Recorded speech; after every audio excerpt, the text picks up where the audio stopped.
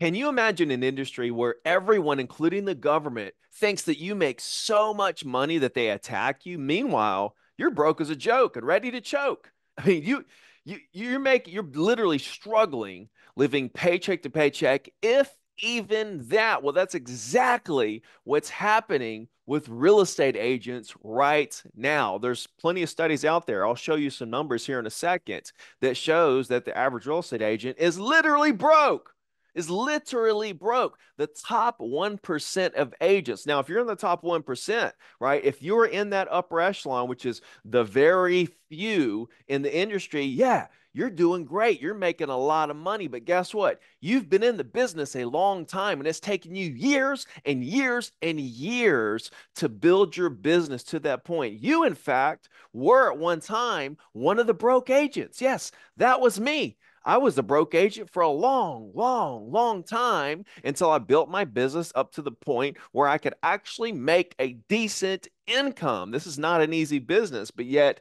we're getting attacked and everybody's trying to put pressure on us like uh, and the thing is is people just don't realize how much value we provide. And this is going to be the greatest social experiment that we've ever seen, where we literally force buyers we force buyers to go straight to the listing agent and have no representation, and it's not going to end well. But hey, we'll just let it play out the way it plays out, and we'll see what happens because at the end of the day, there's nothing we can do about it. In this video, I want to share with you the three reasons why real estate agents are broke. And I want to tell you the one thing that you can do to prevent yourself from being a broke agent. I mean, this is going to be no fluff here. I'm going to tell you exactly what it is. Why? Because that's that's how I roll. Let's dive in here to this article from Housing Wire. Incomes are rising for experienced realtors, but falling for younger ones. Okay, NAR data shows that more experienced agents are benefiting from their long-standing relationships with past clients.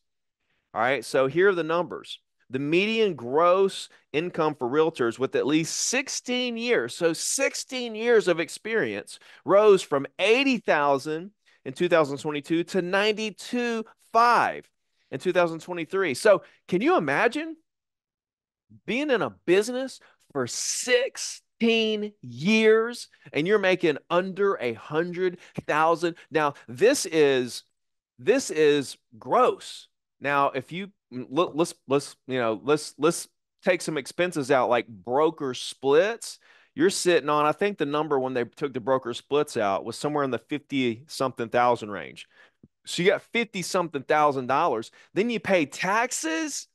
What what you living on man? What how you living right now right? You're not living.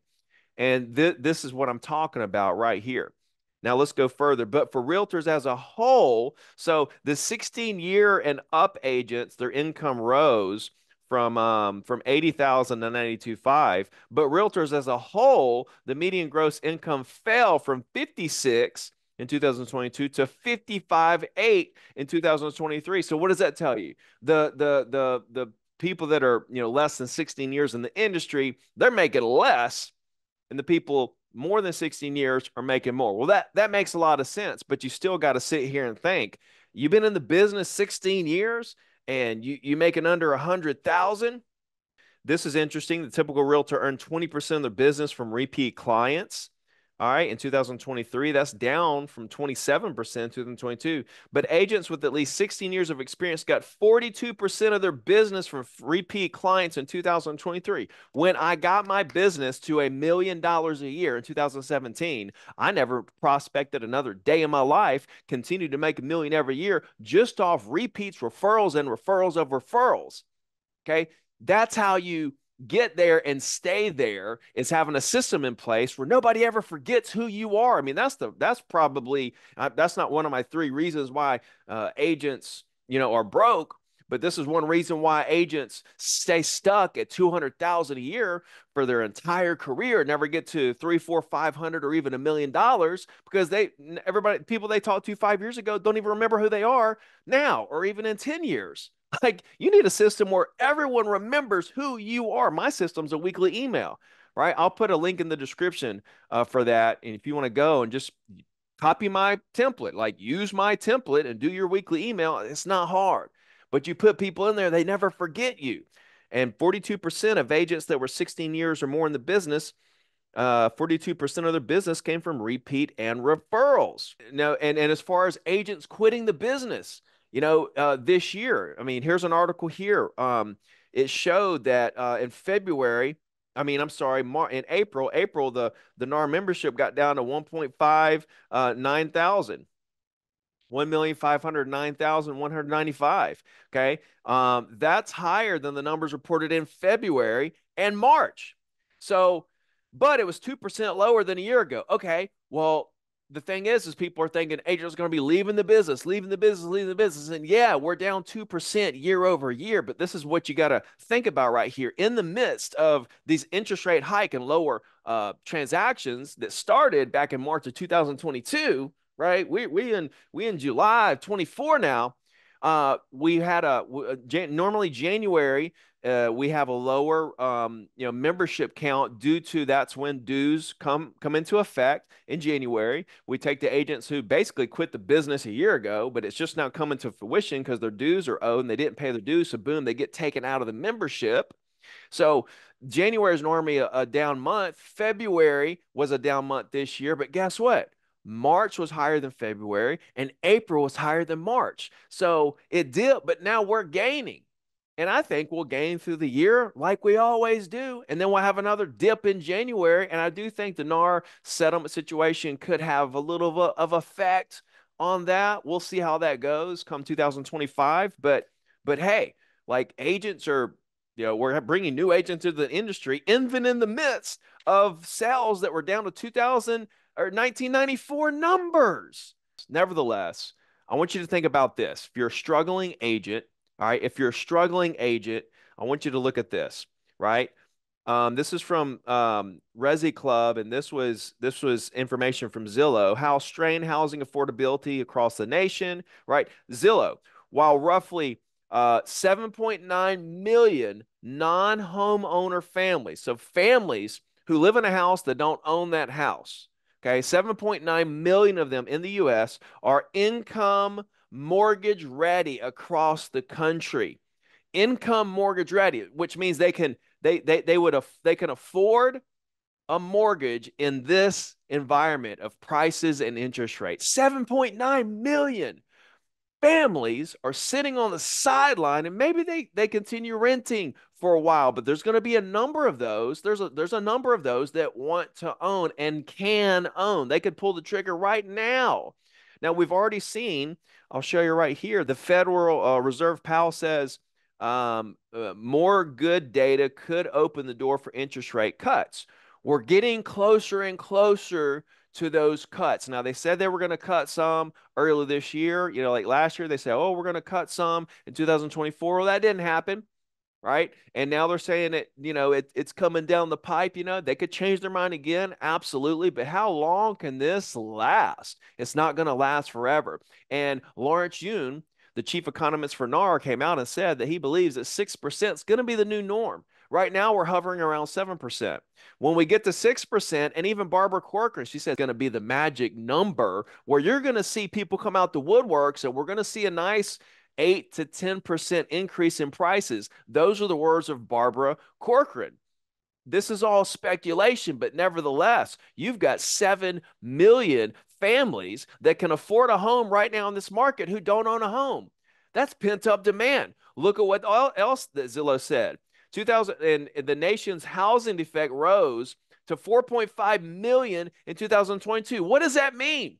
It means that we're short 4.5 million homes based on the amount of families that are being created in the US. And that's up from 4.3 million the year before. So, yeah, and, and in 2007, right, we had the strongest number in 2023, right? Last year, we had the strongest number of, of homes being built and completed in the US since 2007 right? 2023 was the largest year since 2007. But those 1.4 million homes aren't enough to even make a meaningful dent in the nation's existing housing shortage due to the increase in number of families. So this is what I want you to understand. If you're a struggling agent, you're looking at this market, you're like, oh, I'm just going to go through the three reasons why uh, real estate agents are broke. And I want you to really take this to heart. And if you're serious about real estate, I want you to stand up and say, you know what? Enough is enough. I'm ready to get down. I'm ready to make this happen. I don't care what I got to do. I'm going to do it. And that's the way you got to be. But what I'm getting at is that there's so much pent up demand with new families that can't afford. Now, what's going to happen when that interest rate goes from seven to six? That 7.9 million people, uh, families that can afford a home, that's going to increase. And people are going to come out the woodworks, not to mention the trade up sellers. Nobody's talking about that. The trade up sellers who literally there's people who hate the home that they're in, right? They, they, they need a bigger house. They're tired of where they're, they've been locked in for years. Normally by now they would have already, you know, moved again and stuff, but because they're locked in on those historic interest rates, they've been sitting tight. They've been sitting tight. Well, as the interest rate gets back down to six, there's a lot of those that are going to release. They're going to release. They're going to go because they just can't do it anymore. Um, and we're going to see a surge of inventory. We're going to see a surge of home buyers. And listen, when the trade up sellers hit the market, it's not going to be like a surge of inventory because they're also going to buy a house and take one off the market. It's these new families, right, that don't own a home that are going to hit the market and reduce inventory even more. And that's what's going to drive prices up. So if you're a real estate agent, you're thinking, this is a struggling, hard time right now. I want you to think about the future and how this is a golden opportunity right now to expand your influence in the market. The more people that know who you are, the, the, the more deals you're going to do. The number one reason why people choose a real estate agent, if you ask any buyer or seller at the end of the deal, the most common answer is going to be what? Go ahead and put it in the comments. What the most common answer is when you ask a buyer or seller, what, what how did they pick their real estate agent? I'm going to tell you what it is. It's that, oh, I knew somebody. I had a friend in the business, or I was referred by someone who had a friend in the business. It's all going to come down to how many friends can you create in the market? And there's a big difference because people get in the in the business and they think I'm a, I'm great at making friends. I'm awesome at making friends. I can make friends all day long. But there's a big difference in making friends, you know, at the bookstore, at the ball field, at work. There's a big difference in that in creating a business friendship, creating a friendship and a bond with somebody who may do business with you for the rest of your life. There's a big difference in that. And people are they're, they're you know new agents especially come in and they're just thinking, "Oh, this is going to be easy. I'm great at making friends. I like people. I like talking. I'm I'm good at this." But there's a big difference when you throw in the fact that you're trying to win this person over not just as a friend. Man, the people have, you know, tens and 20 and 30 and 40 friends, even hundreds of acquaintances, right? But how do you become the one friend that they say, oh, this is the friend that I'm going to do business with? I'm going to trust this person with my home, with my investment property. See, that's a whole different level. And that's the cookie that you got. That that that that's that's the one you got to crack right there. So let's dive in here. The three reasons why real estate agents are so broke. Well, the first reason is is that most people growing up having jobs, they start out as a W2, okay? Which means that they just show up, okay? They just show up and they get paid regardless of their production levels, okay? But when you but when you get into real estate, Okay. Now you're on what's called a 1099, right? Now you're an independent contractor. Over here, you're an employee. So when you're an independent contractor, okay, now you don't get paid for just showing up. Now you only get paid for production and the level of your production. So a lot of people who, you know, came into the business and they were used to this W 2 life. Okay. They get into this 1099 world and it's a culture shock because they're used to just showing up. And regardless of what happens, they get a paycheck. Not what's happening over here in this world. Not what's happening over here in this world at all. And so what happens is is they don't know how to deal with it quick enough. They can't make the transition quick enough from W 2 to 1099 to, to, to, to catch up with their bills because the bills come due every month. Okay. But it takes a lot longer than that to really, for most people, to realize what they got themselves into by switching from being an employee to a business owner. And their bills pile up too much. And before too long, they're basically forced financially into returning right back to being a double two, W uh, two employee so that they can pay their bills. Okay. And a few other things about being a business owner is expenses. See now, now, now you've got you've got your expenses. Right. You set your own hours. Um, you're your own boss. See, people aren't used to that. They're used to the W two, somebody telling them when they need to be there, okay, and how long they need to be there for. Well, when you're your own boss, you don't have anybody telling you that. So you're dependent on yourself to to to tell yourself when you got to work, how long you got to work, what you got to do, and you got to pay for everything. You got all the expenses of being an agent, the licensing, your marketing, your broker fees, your CRMs. You got to probably buy some more clothes. You got gas money, driving buyers around and etc. Right? MLS fees. You got all these expenses and you set your own hours. So most people get out of the W2 world, right? They get out of W2 world because they don't like having to be somewhere when they don't want to be there, basically. So, so, so they're like, I, I don't want to be, I don't, I don't want to live this life. I want to be my own boss. That sounds amazing. Let's go be our own boss and set our own hours, right? Because I don't like the hours I'm working over here. So then they come to the, the, the, the 1099 world. And what happens is, is the reason that they join 1099 is so that they don't have to abide by the, the, the, the, the W 2 rules and world. And that's exactly what creates failure in the 1099 world. I'm going to tell you what my what my second broker told me. Okay. I'm going to tell you what my second broker told me. He said, Ricky, he said, Ricky, if you treat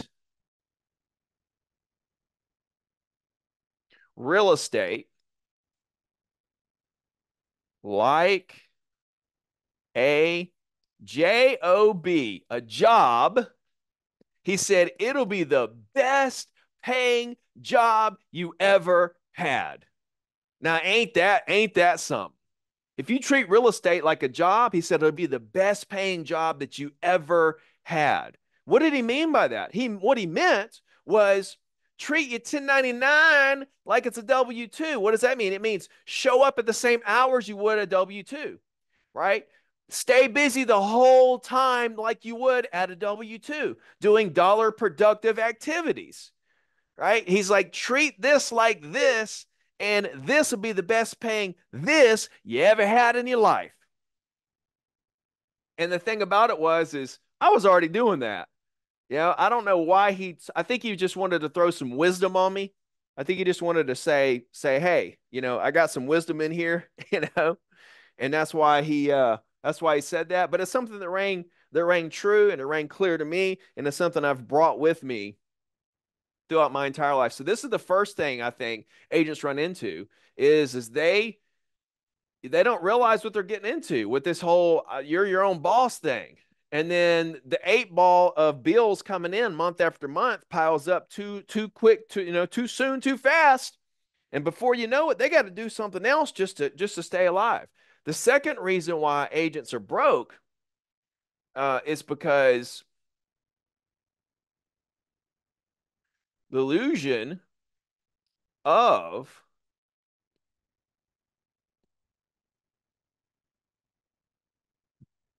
the illusion of competition. The illusion of competition. Guys, I'm here to tell you right this second. Now, now, please get this. Please get this part right here. Competition does not exist. Now, let me tell you why. We said it earlier that the number one reason why somebody chooses a real estate agent. I mean, put in the comments if you think there's another number one reason why somebody chooses a real estate agent other than they had a friend in the business, right? They had a friend that made them feel comfortable, right? That was able to get them to open up to them about what they want to do and why so that they could put together a plan, a customized, you know, plan specifically for them and their situation to help them accomplish whatever it is they want to accomplish in a very professional way. That's why they choose the real estate agent that they choose. They had a friend in the business that's professional with a great reputation that does what they say they're going to do when they say they're going to do it every single time and that they trust. Okay. That's why they had a friend in the business. Now, what does that mean? It means that relationships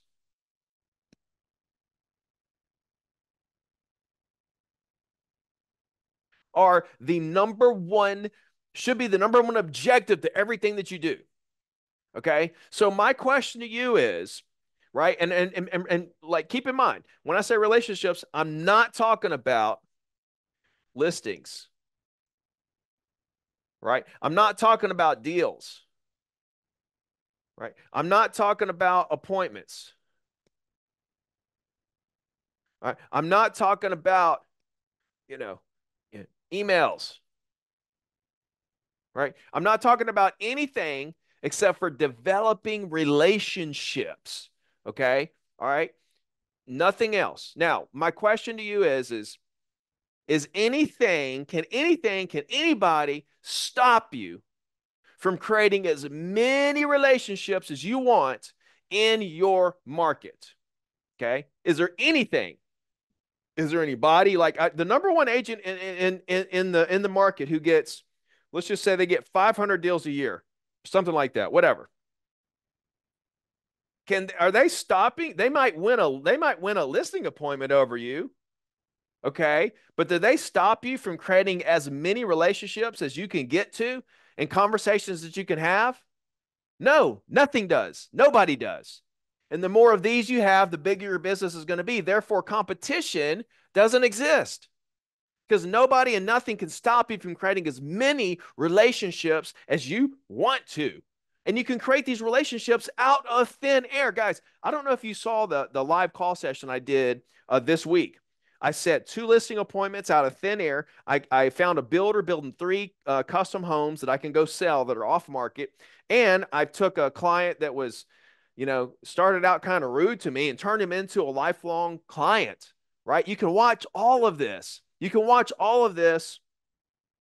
Uh, I'll put the link in the description. I'll put it at the end of this video. At the end of this video, click on it and watch me do this. It's recorded right there for you.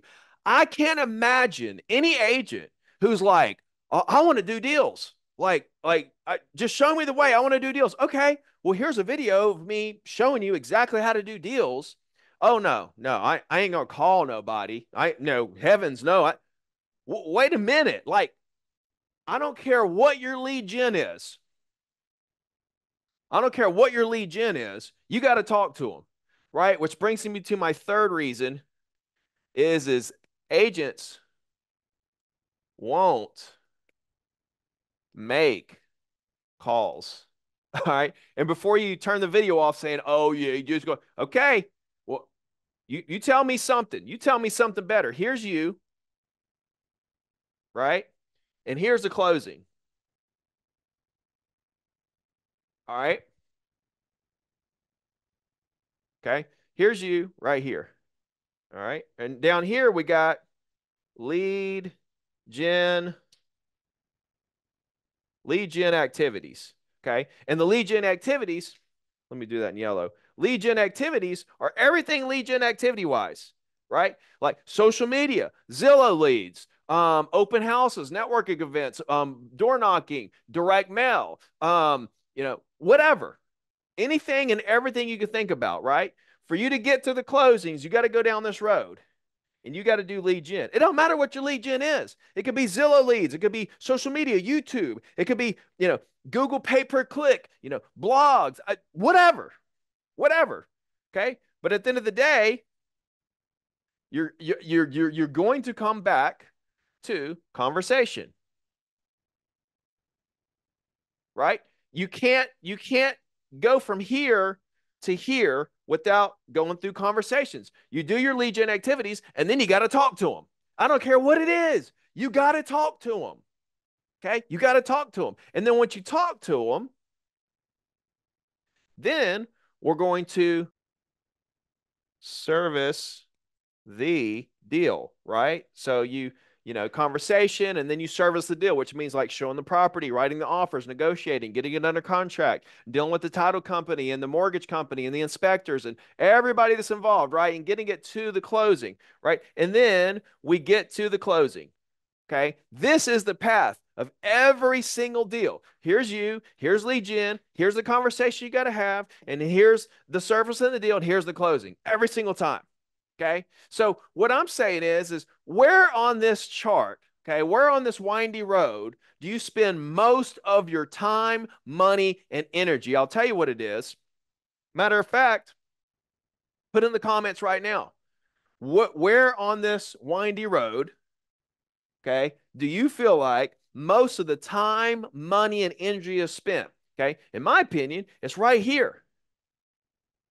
The lead gen activities right? Because people are spending so much time making video, which is great. I want you to do it. You better be doing it, right? Here are the words that I'm saying. You better be making videos, okay?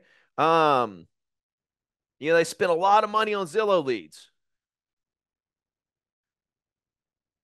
They uh they spend a lot of time doing open houses. Okay. They spend a lot of money on just leads, buyer leads of any source. They're paying 35% to to to to get buyer leads. Um, what else are they doing?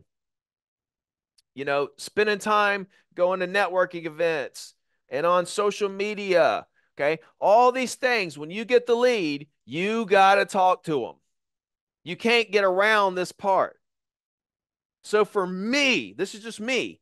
If I'm gonna if I'm gonna spend all the time, money, and energy to do vi- video and spend money on Zillow and and all this stuff, do open houses, all to come right back to the same place anyway.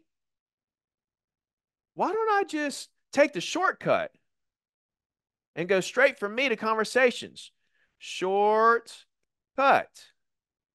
Because the leads that I call, right? I've been making calls for the last three weeks. I'll be making calls this Tuesday at 3 p.m. Eastern. Show up. I'll be here live on YouTube. Show up, Watch me do it again. I'll have more leads, and every single person I call is better, better quality than any of the any of these leads. Why? They own the property I want to sell. Like when I get a lead off of uh off of YouTube, that's a buyer. It's a first-time home buyer ready to run me all around town. Why would I do this? I want to do this, but I'm going to do this as a secondary right? It's not my primary. I know I can create deals out of thin air if I just have conversations. So you can run, but you can't hide, right? This is the problem. Agents won't make calls. But guess what? You're in sales. You are in sales. And in sales, your job is to help people. It's not to it's not to con people. It's not to trick people. It's not to do anything weird. You're here to service people, to serve people, to help people, right? There's there's nothing about what you do that's that that should be weird or you or make you feel uncomfortable. You should be after you watch that video. I, I don't understand why people aren't running to get RedX and load up the dialer and just start talking to leads because all you want is a bunch of leads. That's all you want. So I'm giving them to you for a penny a piece. RedX.com backslash Ricky. Get the discount, get GeoLeads Plus, get Expireds Plus, and get a, get the multi-line dialer and get to work. Because I'm not only telling you how to do this, I'm showing you every week. And this is not talk, this is not theory. This is what I do. And so Like you can create as many deals as you want and literally have the leads right now instead of spending all this time, money, and energy just to get right back to the same spot. Okay. So that's the three reasons why real estate agents are broke. They are coming from a W 2 world, number one. They believe in the illusion of competition that doesn't exist whatsoever. And they won't make calls this is why they're broke right here. And I'm going to tell you the, the, the one thing you can do to go out there and absolutely crush it. Okay. I'm going to tell you, you ready? Here it is.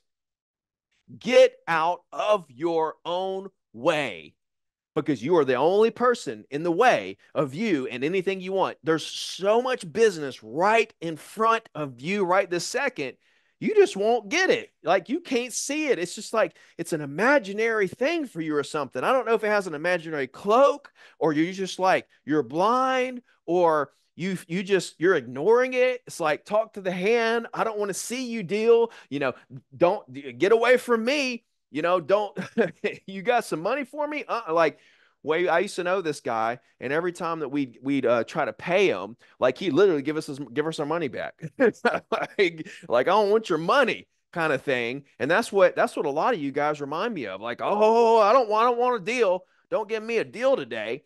So anyway, this is what I want you to do. I want you to go watch this video right now. Watch me set two listing appointments and then shut YouTube down. Go get RedX and start doing this yourself. You got this. I believe in you. God bless. I'll see you on the next video.